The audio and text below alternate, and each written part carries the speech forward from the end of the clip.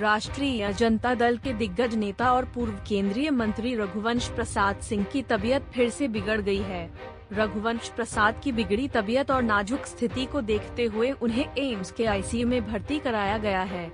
खबरों के मुताबिक, पिछले कई दिनों से वह दिल्ली के एम्स में भर्ती हैं। तबीयत बिगड़ने की वजह से अब उन्हें एम्स के आईसीयू में शिफ्ट किया गया है। रघुवंश प्रसाद सिंह हाल के दिनों में बिहार की सियासत में खासी चर्चा में रहे हैं, क्योंकि उन्होंने पार्टी की अंदरूनी कला से नाराज़ होकर राष्ट्रीय उपाध्यक्ष के पद से इस्तीफा दे दिया है। बीमार होने से पहले रघुवंश प्रसाद सिंह को कोरोना होने की वजह कारण पटना के एम्स में भर्ती कराया गया था। फ़िलहाल रघुवंश प्रसाद सिंह का इलाज दिल्ली स्थित एम्स में चल रहा है। आपको बता दें कि रघुवंश प्रसाद सिंह आरजेडी में रामा सिंह की एंट्री को लेकर नाराज़ चल रहे हैं और उन्होंने इसका पुरजोर विरोध भी किया है। यही कारण है कि रामा सिंह को अभी तक राजद में जगह नहीं मिल सकी है।